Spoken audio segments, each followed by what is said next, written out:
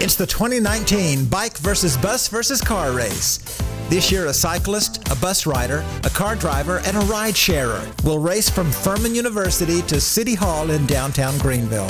So we are at the front gates of Furman. We are waiting for the bus to arrive so that we can all start the race. This seven mile race will raise awareness of alternate forms of transportation as we partner with the David E. Shi Center for Sustainability at Furman. Three contestants will depart from the bus stop at Furman University's front gate. My driver's not going to be here for another eight minutes, and the bus is already here.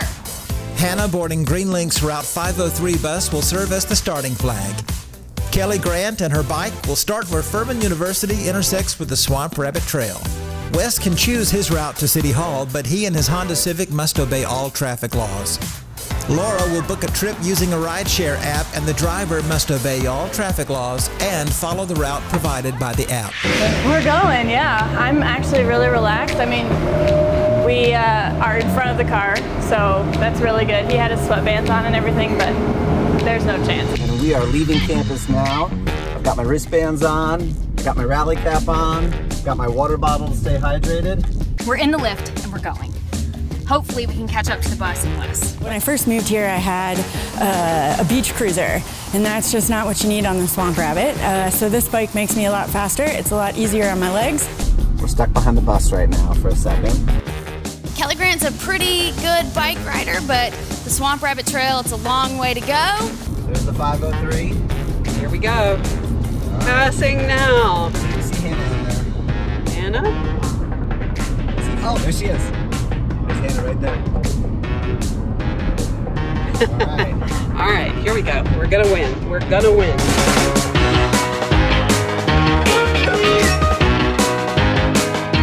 Uh-oh. Oh no, blue lights I ahead. Blue lights ahead. oh no. It's 8.04 and we haven't even yet made it to the Cherrydale intersection and I see blue lights ahead. This okay. is trouble. Oh, I don't know, hopefully Kelly Grant saw some squirrels or something to look at or groundhogs and is uh, enjoying her morning exercise. Wes, the car driver, is super competitive, uh, and so are the folks that are riding with him. So there's definitely some some pressure there. It's 8:06, mm-hmm. and we're at the Cherrydale intersection. This is always one of the log jams every single morning. I don't know. Kelly Grant's making up some serious time on this here. Yeah, she is. Hey, Dad. Yep, I am on the bus. Hannah's got it pretty good though. She's in the bus. Uh, she doesn't have to watch the road like I do. She doesn't have to have her hands on the wheel. Probably like reading the paper right now. Oh, she's doing her crosswords. Maybe doing her crosswords. Checking her email. Mm -hmm. Maybe just daydreaming. There's Wi-Fi on the bus. Oh, man. Are you kidding me? Ah, oh, this is it. This is where we We're lose all the trouble. time. We, we are... are... in serious trouble right now. I was feeling so confident. Ugh. Kelly Grant is getting all of her exercise right now on the bicycle.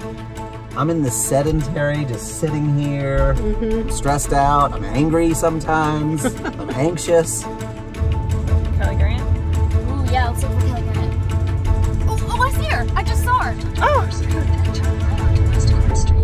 Yeah, oh my gosh, she's coming.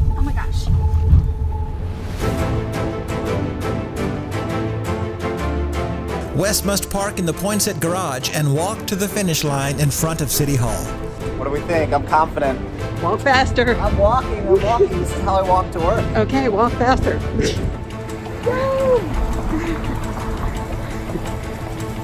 We're gonna win it. No, the car won again. Laura can be dropped off in front of City Hall and walk to the finish line.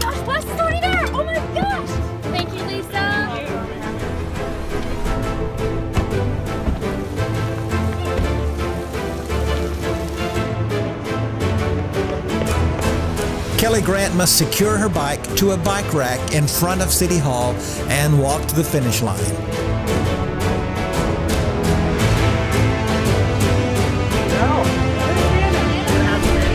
Hannah must get off the bus at the Greenlink Transit Center and walk to the finish line in front of City Hall. It's like the amazing race. Oh, everybody's there already. Hoping that folks realize that we are really lucky to live in Greenville where we do have some options for public transportation. Uh, we have options for biking to lots of places in the county because of the Swamp Rabbit Trail. Uh, so if you can get out of your personal vehicle and get into another alternative mode of transportation, uh, it's, it's really a good thing to do, not only for your health, but for the environment.